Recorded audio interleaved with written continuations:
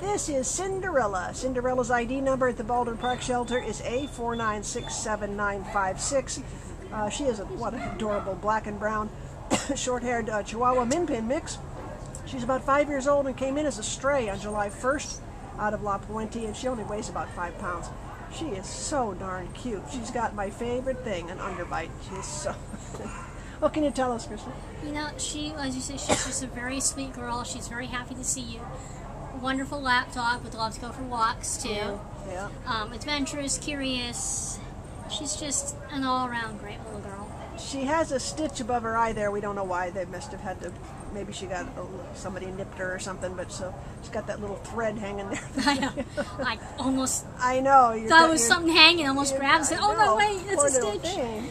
She is. Oh my gosh, you're so cute. I just love the way she looks. She's just Oh, wonderful. an underbite now. She's the perfect lap dog. She really is. Very calm demeanor. Does she show signs of being housebroken yet? Yes, she oh, good.